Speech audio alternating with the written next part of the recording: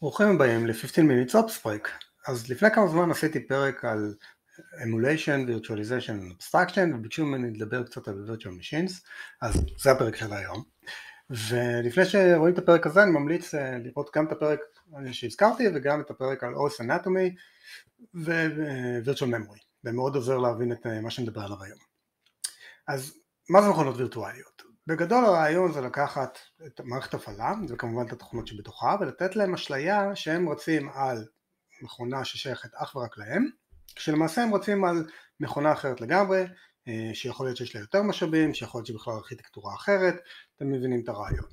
ויכול להיות שעל המכונה הפיזית רצים עוד, עוד אה, מכונות וירטואליות והמכונה הווירטואלית ספציפית הזאת לא רואה אותם בכלל כי יש לה אשליה ש, אה, שיש לה את כל המכונה בעצם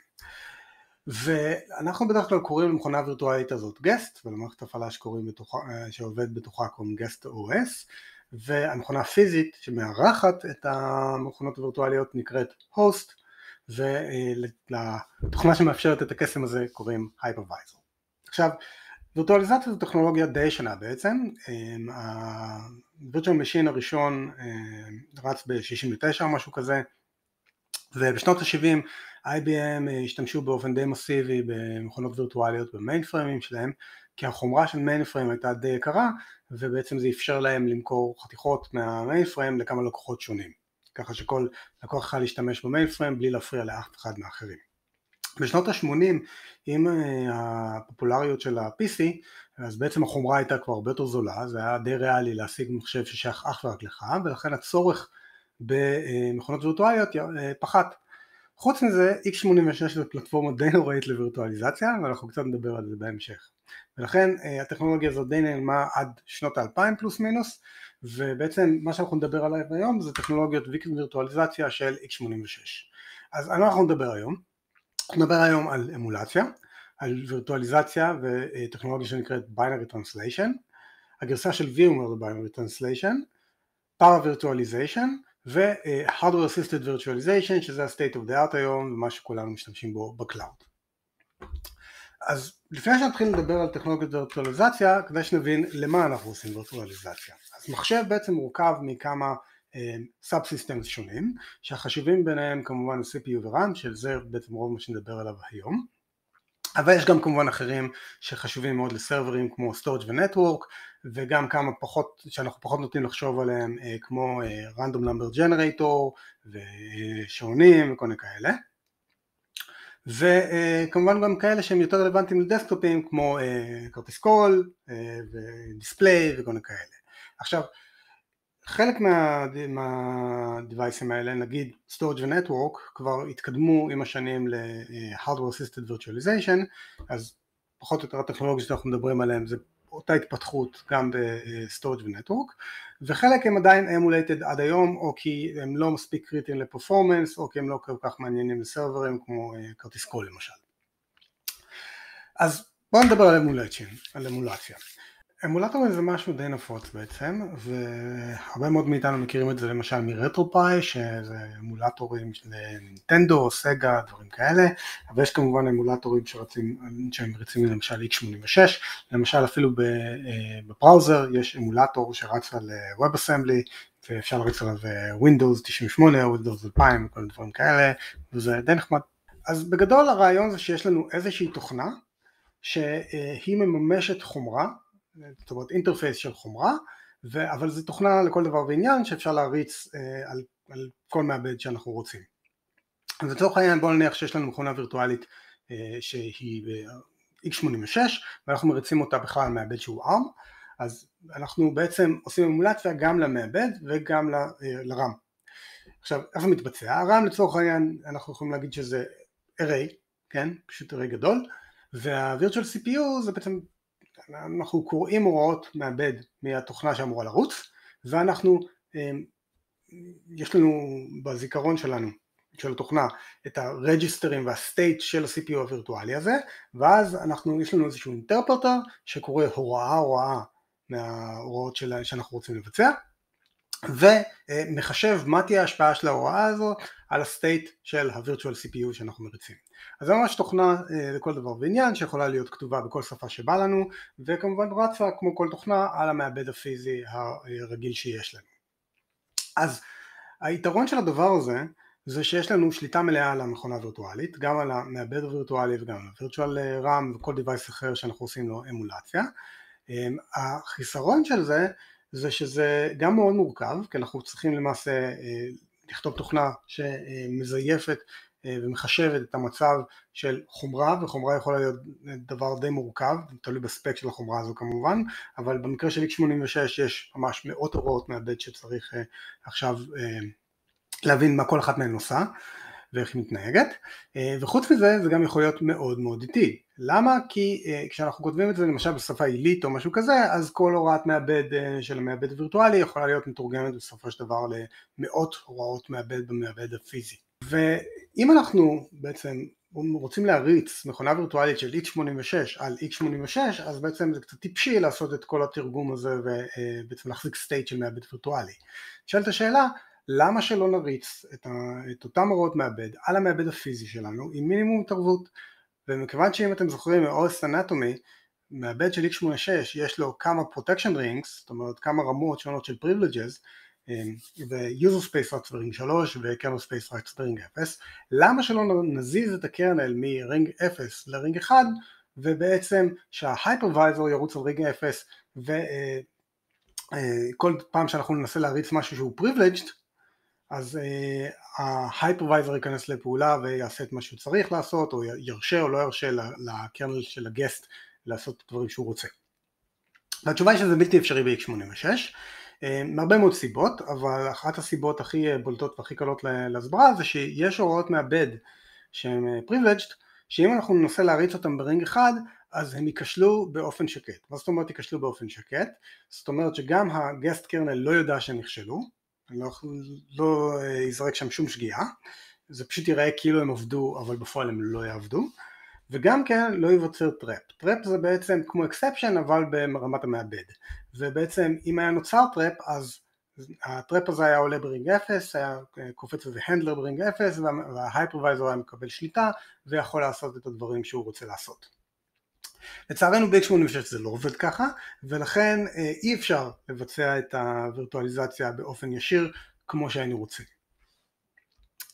אז מה כן אפשר לעשות? אז פה נכנסת אה, איזושהי טכנולוגיה שנקראת binary translation שזה קצת דומה ל-emulation אבל זה לא emulation במקום לקחת state uh, של מעבד וירטואלי ולחשב מה יקרה לו, אנחנו יכולים להריץ, לתרגם את הקוד מהפלטפורמה שאותה אנחנו רוצים להריץ לקוד של x86 ואז להריץ את הקוד המתורגם, אוקיי? אנחנו יכולים לתרגם נגיד את כל הקוד מראש, זה נקרא Static Binary Translation, uh, קצת פחות ריאלי במכונה וירטואלית, ואנחנו יכולים לעשות מה שנקרא Dynamic Binary Translation, שזה לתרגם את הקוד on the fly, מה שנקרא, זאת אומרת ב-runtime. עכשיו, אנחנו יכולים לקרוא,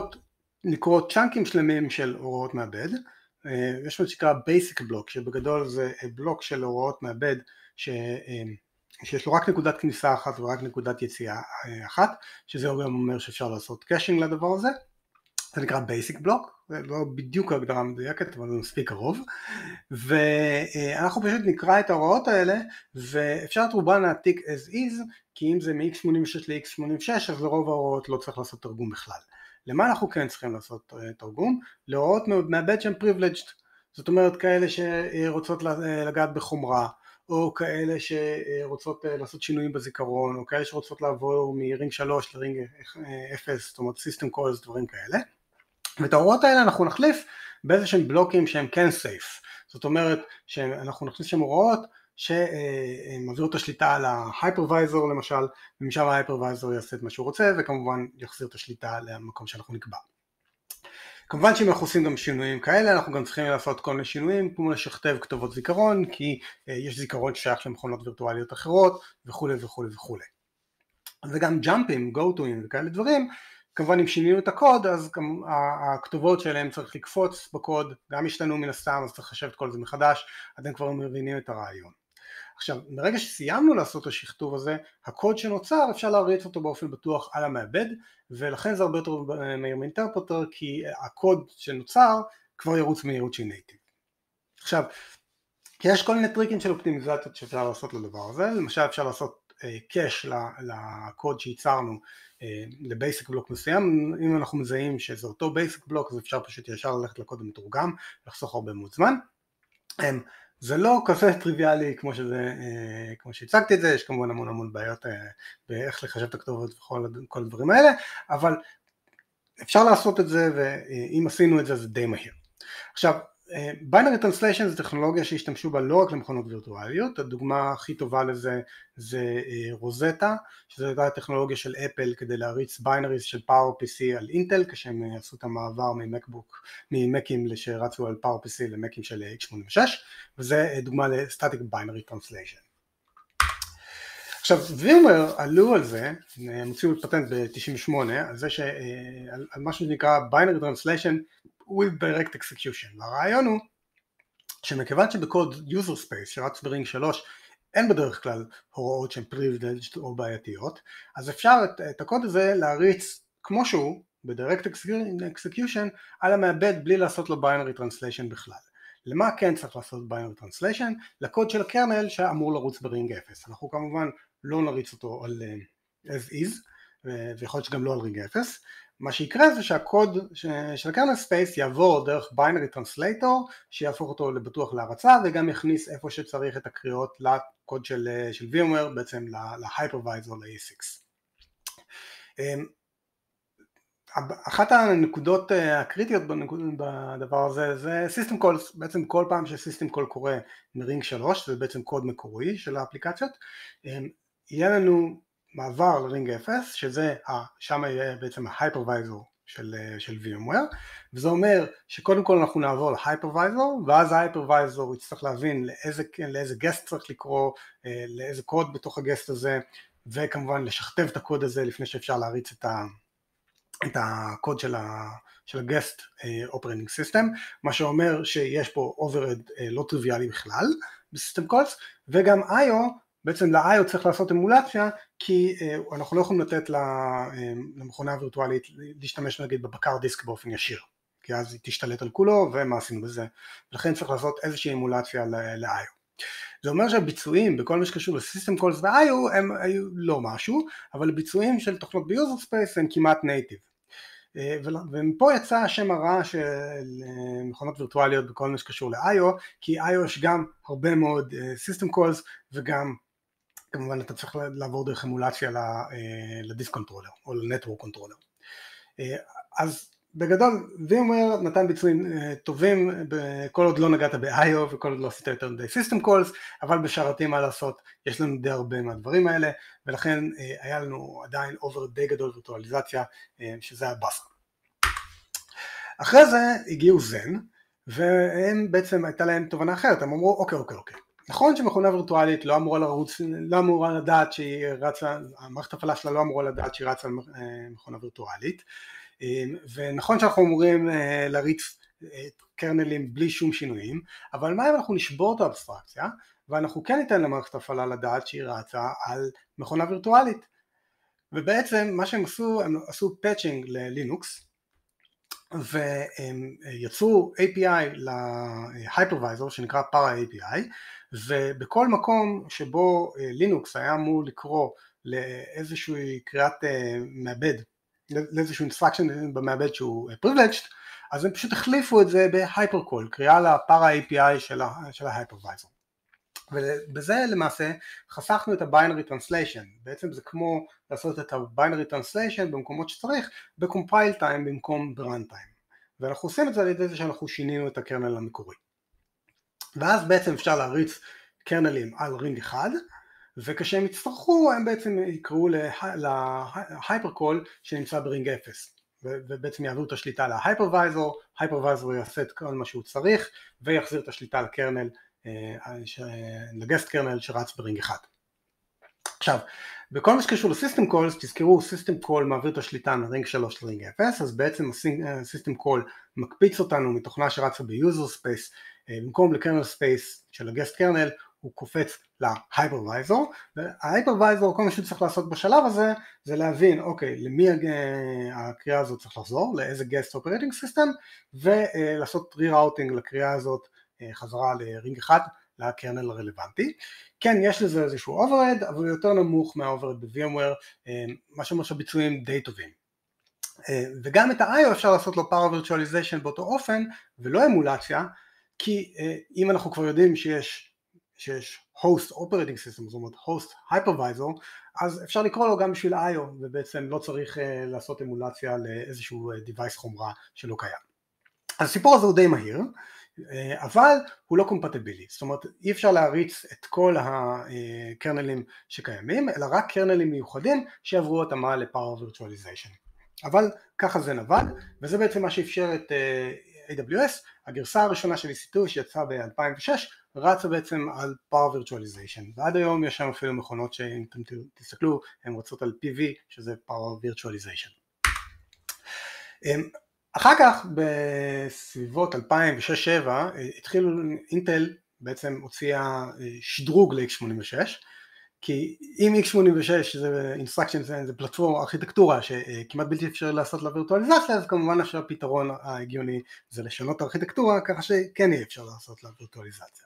עכשיו מסיבות של compatibility אי אי אפשר היה להוסיף ring יותר privileged מ ring 0 אז מה שהם עשו הם המציאו מוד חדש שנקרא root mode ובעצם ההייפרוויזור רץ ברוט מוד וכל שאר הדברים רצים בנון רוט מוד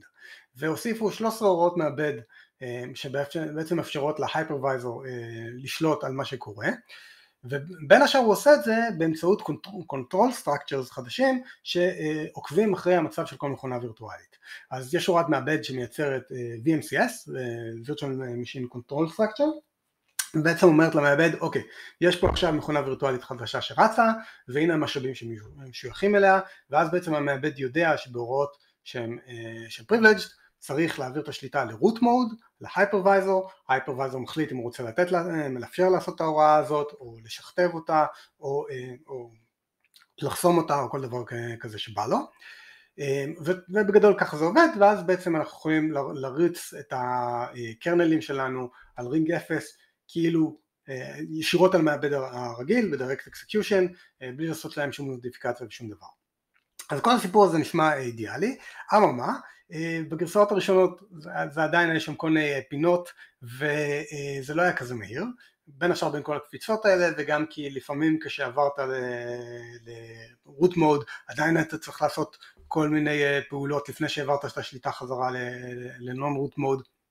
בסופו של דבר בגרסה הראשונה VMware עדיין היה יותר מהיר מ-hardware assisted virtualization. ואחת הסיבות לזה שזה היה יותר מהיר זה בגלל שברם לא טיפלו וברם עדיין היית צריך לעשות שכתובים לא טריוויאליים. אם אתם זוכרים את, ה... את מה שדיברתי עליו בסרטון על virtual memory כמו עם paging tables אנחנו צריכים לעשות שכתוב לכתובות של הזיכרון ככה שכל תוכנה ייראה לה כאילו כל זיכרון שייך. אך לה, אך ורק לה. והיינו צריכים בעצם להוסיף עוד רמה של paging table בשביל שהדבר הזה יעבוד ולכן אמ, בשלב הבא התחילו בעצם להוסיף את היכולות האלה לעוד חלקים במערכת, לעשות hardware assisted virtualization לעוד subsystems. אז למשל הוסיפו מה שנקרא extended paging ל-memory management unit שבעצם אה, עושה עוד level של אה, virtual אה, memory. אותו דבר עשו לאינטראפטים אז עכשיו יש לנו וירטואליזציה לאינטראפטים זאת אומרת שיש לנו virtual interrupt handlers שבעצם אה, יודעים לשייך, אה, לעשות ראוטינג לאינטראפטים למכונות וירטואליות שונות. ואותו דבר גם direct memory access ככה שגם יהיה אפשר לעשות וירטואליזציה בחומרה ל-IO וכולי וכולי וכולי. ואז אחרי שעשו את כל הדברים האלה הביצועים של המכונות הווירטואליות התחילו להשתפר ממש ועברו את אלה של VMware. וזה מביא אותי לדבר על AWS Nitro AWS הם כמובן לא היחידים שעשו את זה, אבל בתור חברה מאוד גדולה שמריצת שיא מאוד גדול של מכונות וירטואליות וגם מייצרים לעצמם את החומרה היום, הם, הם התחילו פשוט להוסיף uh, hardware uh, virtualization support לכל ה subsystems האחרים שרלוונטיים ל server ים. אז למשל יש לנו היום את uh, Nitro EBS שזה בעצם מאפשר וירטואליזציה ל-remote storage בחומרה, ואותו דבר ל network, אז יש Nitro VPC ול local storage יש Nitro instance storage וכולי וכולי וכולי, אתם מבינים את הרעיון. אז עכשיו שיש תמיכה בחומרה לכל הסאב סיסטם שרלוונטיים לסרברים, בעצם אה,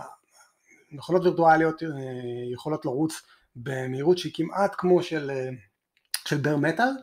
כשאני אומר כמעט כמו בר מטאל אני מתכוון לבערך אחוז אחד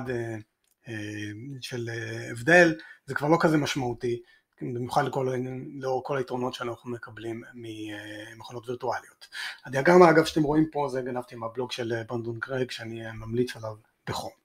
דבר אחרון שאני רוצה לדבר עליו זה type 1 ו type 2 hypervisors. אז type 1 hypervisor לדוגמה Xen ו-VMware ESXi זה בעצם ה hypervisor הוא kernel לכל דבר ועניין שרץ ישירות על החומרה והוא בעצם מריץ המכונות הווירטואליות ובשביל כלי ניהול יש לנו מכונה וירטואלית אחת שהיא טיפה יותר privileged מאחרות ויכולה לדבר עם ה-API של ה hypervisor בדרך כלל קוראים למכונה הזאת Dom 0, דומיין 0 ושם היו כלי הניהול שמנהלים את Xen או VMware.